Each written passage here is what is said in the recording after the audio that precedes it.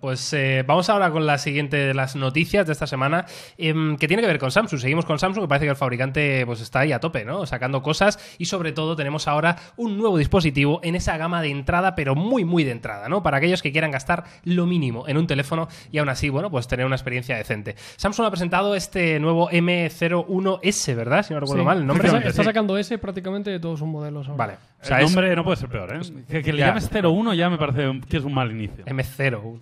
Que suena mal. Además, cuando has sacado los 10, los 20, los 30, ahora sacas el 01 y yo me voy a comprar el 01 y me siento mal. 32 GB de almacenamiento, ¿eh? Bueno, bueno, con ampliación, ¿eh? con SD, ¿no? No sé. Pantalla Infinity V. ¿Qué, qué me dices a eso? Está guapísimo. ¿Cuánto lo tienen por 100 No, pavos? Pues ninguna. Ninguno prácticamente. Y luego está el. Infinity O El over está guapo. y el Infinity Naple, ¿El- ¿Cómo? el de pezón. Ah, el. Hostia. Bueno, para quien no, Venga. para quien no lo esté Sí. viendo, eh, deciros que tenemos un teléfono de muy gama de entrada, un teléfono con un notch tipo gota en la parte superior, con un margen en la parte inferior que se ve un poco grandecito, la verdad, y será un teléfono bastante económico. Ahora hablaremos del precio, pero como decíamos, almacenamiento 32 gigas, no hay configuraciones, solo puedes pillarte de un 32, 3 gigas de memoria RAM, algo que ya se ve poco porque los 4 es como Sí, sí. ya casi el mínimo. Dos colores con un azul claro y un color gris. Y luego, pues poco más. Eh, tenemos configuración con un procesador que no sé cuál es. MediaTek.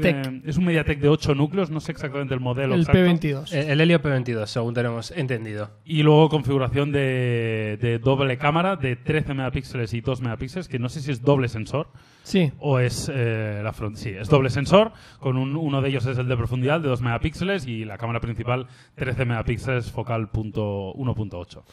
Bueno, pues el típico rival del Redmi 9, del, teléfono extremadamente barato, ¿no? A mí, a mí es donde aquí creo que cuesta eh, salirse un poco del, del- de las típicas alternativas, alternativas chinas que al mismo precio te dan un poquito Alternachinas, más. ¿eh? ¿no? Me ha encantado, tío. Alternachinas, Es que claro. han mezclado dos conceptos Alternachinas. en...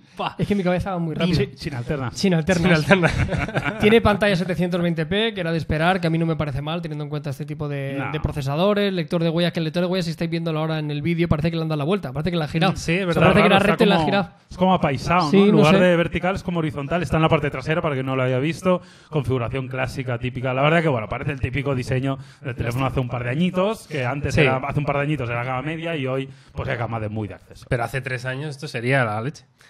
Pues sí, y, y hace 10 eh, te explotaba la cabeza. Efectivamente. Pero la vida evoluciona, Miguel. De todas formas, yo quiero decir que en esa gama de precio, eh, la- el, el público habitual suele ser alguien que no tiene ni idea o no tiene mucho interés en la tecnología, con lo cual es muy probable que se vayan a fiar Pues más.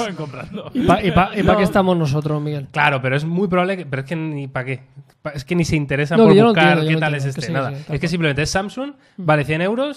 Entre uno que es una marca que no conozco y otro que no- es más feo, pues eh, ya está. Es que claro, Sí, lo sea, hacemos sí. nosotros muchas veces en el día a día con otras cosas. Sí, o sea, que al total, final. total. Pero bueno, deciros también que tiene una batería de 4.000 mAh. que Igual, supongo- igual Lewis Hamilton se compra este. Igual, yo, Mira. ya, yo me voy a ocupar de que no sea así. Porque se da la vuelta y dice. Hombre, eh, dice, ¿Ha visto, ha visto esta este imagen ma- de prensa? ¿no? Ha dicho, ¡uh! Dice, eh, ¡Uh! Carlos lo verá, verá, Lewis estará viendo el, el Unplugged, verá Claro. esto, verá que por detrás también tiene dos cámaras como su iPhone. Claro, y dirá, ya, esto tiene que ser igual. Y es coreano.